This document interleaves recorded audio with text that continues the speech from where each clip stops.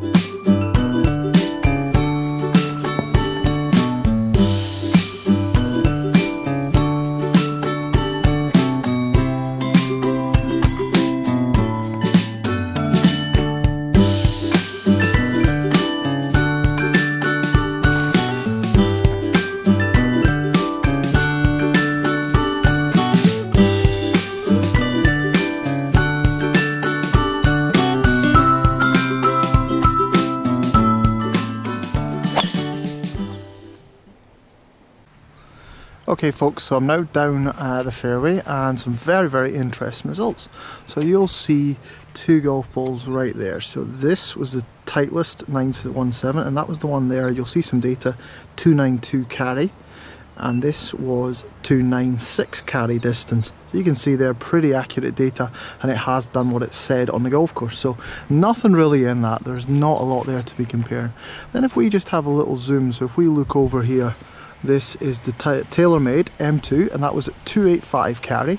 And then if I just do a little zoom just over here for you folks, there's actually a golf ball sitting just here. There you go.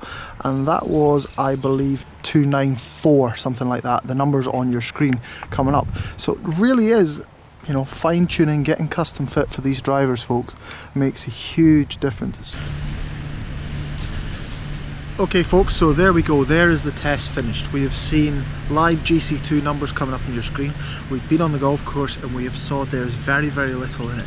We saw from the TaylorMade M2, 285 and 296, so the shortest but the longest. We saw there just a little bit, one of them got a bit spinny, which is possibly me that's caused that.